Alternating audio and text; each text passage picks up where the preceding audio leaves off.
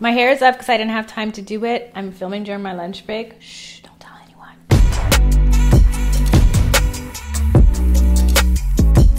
What's up? It's your favorite blind chick back on your screen with another one. This is something that every blind person needs to know. Each and every one of you, this is a game changer. I was watching this video that my cousin DM'd me earlier today. I got all the inspirational, uplifting, encouraging vibes. I'm talking a whole TEDx mood. I don't even know if it was a TEDx talk, but hey, it was giving me those feelings, okay? As I was watching it though, something was something was happening. I can't quite put my finger on it, the feeling. I don't know what the word of it is, but it had me feeling this type of way, and I wanted to share that with you today.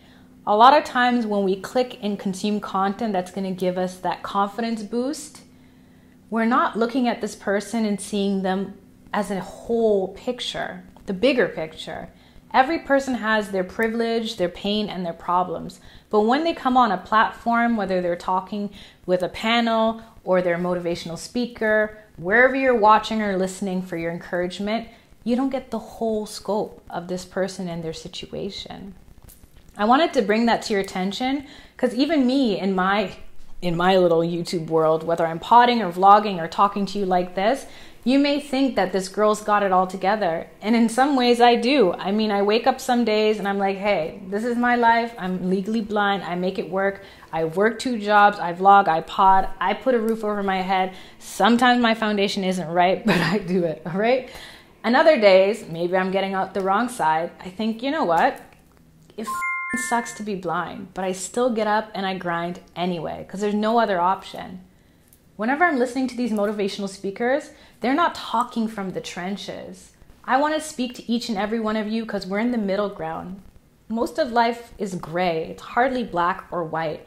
But why is it that we're always reaching out for those people that have overcome the obstacles, living with their limitations in luxury? What about the regular schmegler people? I don't know. It's just a topic of conversation that I do want to do a matching pod to, so look out for that. It's food for thought, if anything. I think there's so much to be learned. There's so much to be gained and grow from in this exact moment where you're at. And the foundation for that is understanding that it's okay to be not okay. Like I said, sometimes I wake up and I'm just like, you know what, being blind sucks. Like if I could choose, if I could snap my fingers, just like I said in that panel, I was the only person that was like, yeah, I'd want a cure. If there was one, I would take it yesterday. But that's my authenticity. I'll never be the girl that's like, I'm happy to be blind. This is the best thing that happened to me. But if that's your story, that's great. And share it. Scream it from a mountaintop. Someone resonates with you. I think it's a disservice to suppress the people that don't feel that way. I'm not saying wallow in your pain and your misery, though, because we're not about that. I'm saying honor where you're at so you can get to where you want to be. Before I go on a rant, I just wanted to share that as it really, really spoke to my soul. I know a lot of you who have messaged and commented in the past about how you're feeling with vision loss. It's, it's a very complex, touchy situation. I don't want you to look at somebody else because comparison is a thief of joy and wonder why you're not in their place or why your life sucks so much because your life doesn't suck. It's how you're looking at it that sucks. Yes, it sucks with vision loss.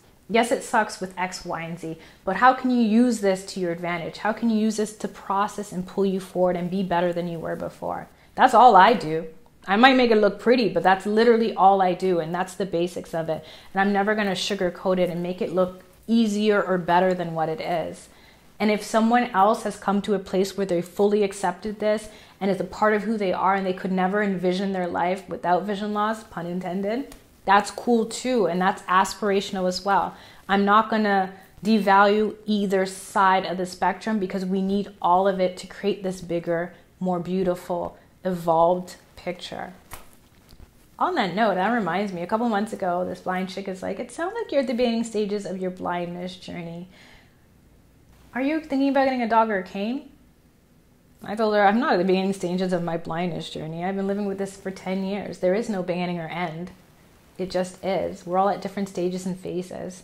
Life is not parent trap. No one can live in your shoes and experience what you've had. You can't just switch it up like that if that's the case, then no one can tell you how to live and adjust and process what you're going through. So honor what you're going through because only you can live your best life. Only you know what's best for you truly. You just have to listen to yourself. So, on that note, I'm going to wrap up this video. I hope that you enjoyed this type of talk. I know I don't usually come on with this tone. This is more for the pod fam, but I just felt like I needed to speak on it here. So, I hope you liked it. You got something from it.